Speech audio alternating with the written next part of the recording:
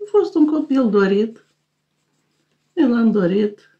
A venit sănătos, voinic, energic. Repede și putea vorbi, repede și putea merge. Mă pornim cu dânsul în cărușor la Bunel, la Bolovița și ieșea de aici, din mahalul Moșneagă. De o gradă ieșea un mușulic mai stare, așa, mai bătrân, mușsar.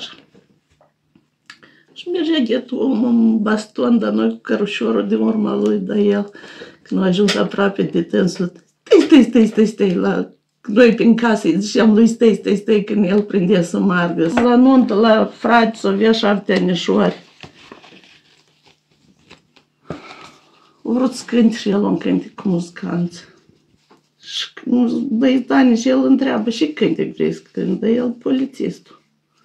Hei, hei, polițist, ia și pe mine. Ei, cum, nu mai știu eu cânte cu șala, dar el așa o cânta de frumos și așa toată lumea zgrămădis în prejurul lui și tot cele era dragă și învăța ghine și am atestatul este terminat cu 90, 96, cum se zice.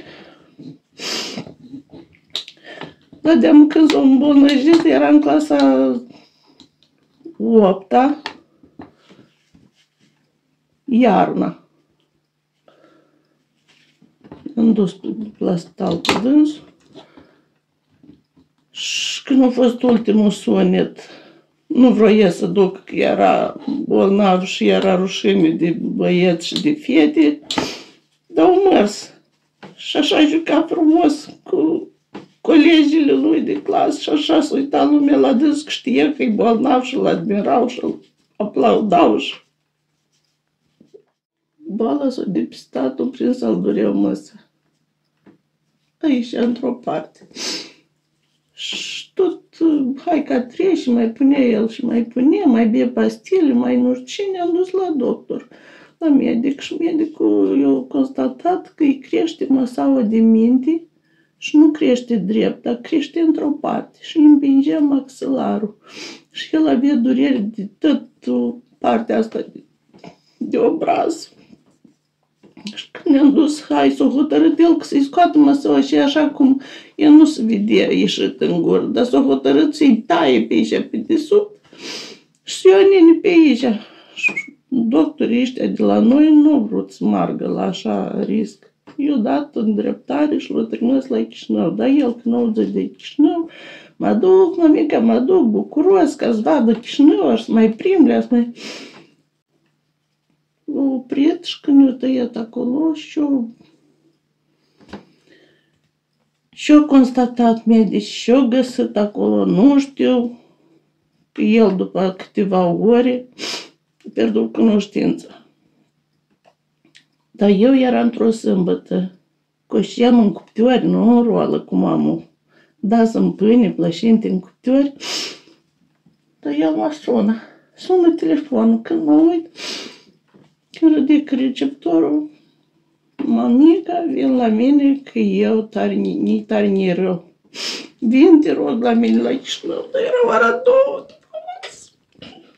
Când am ajuns acolo, am intrat pe un calidor, nu găsim a nimerit ușa unii palata lui.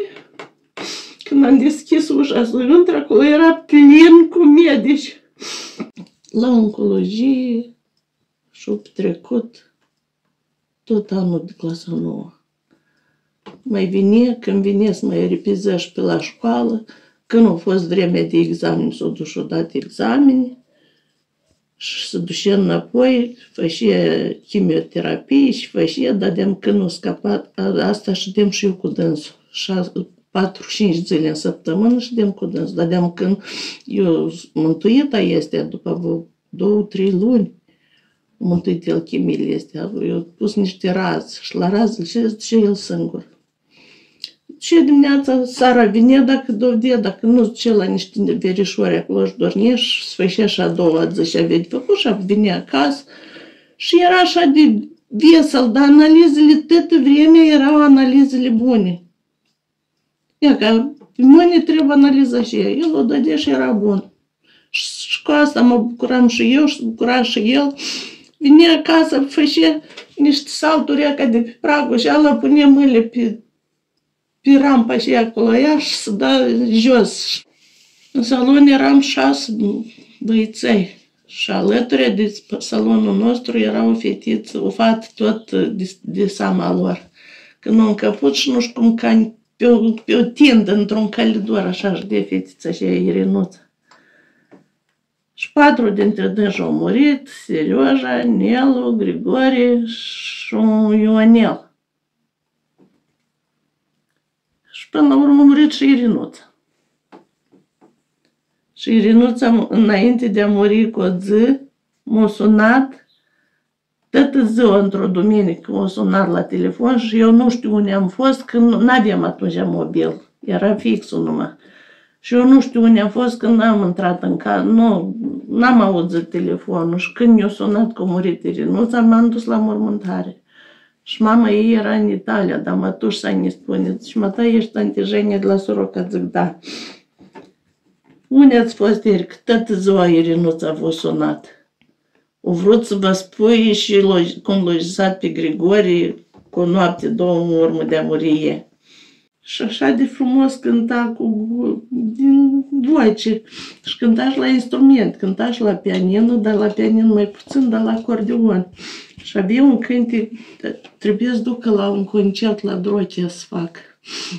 Cu nu știu cum o cheamă, doamna Eleonora a fost profesoară, dar profesorul care trebuie cu concertul să ducă, nu țin minte cum îl cheamă, Bagri, domnul Bagri. Și avea un cântec care să-l cânte cu vocea și din acordeon. Și când s-a îmbolnăzit, nu s-a totuși la concert cealaltă, nu, domnul Bagri punea alt copil, alt băieț cânte în locul lui, cânte cu ăsta, dar băietanul și-a zis că nu, domnul profesor, eu nu pot să-i cânt cânticul lui Grigore. Că știu că el așa de frumos îl cânta și am nu s-o îmbolnăjit și eu să-i cânt cânticul lui, eu n-am să pot cânta. Mă doare. Și nu vreau să-i cânte nimeni cânticul. Vroia el tare în ultim atunci când el era bolnav, vroia calculator. Și vine Ghena de la Chișinău și a dus calculator. El a așezat, dar el de nu prea putea să șadă în ceare, așa să ajungă la dâns. El ședea pe lejang, calculatorul i-am pus măsuța acolo aproape și el lucra mai mult de culcat. La, se juca la calculatorul și ala. A avut acordeon. Bicicleta eu țin, ia ca magnetofonul, radio, el țin aparat de fotografiat multe așa, caiete, anchetă, nu știu și am găsit, ia că și de acolo e atât. Și am găsit în magnetofonul ăsta lui o casetă. Când am l-am pornit, colind eu și cu dâns. Și îmi zice, hai mămica, hai să colindăm amândoi. Și apoi, și zice el acolo, amântași. Și cânta numai el din acordeon. Și îmi făcesem când să începem să cântăm amândoi pe voci și mai are un cântec. Mama mea, măiculița mea, tot el îl cânt acolo și să ascult. Mai scurt, am amintiri și mă uit la fotografii, dar nu ne ajută nici și vreau să spun că au stat cu mine 15 ani, 5 luni și 10 zile. Acolo e de 20 de ani. Eu l-am așteptat 20 de ani să vină și nu a venit.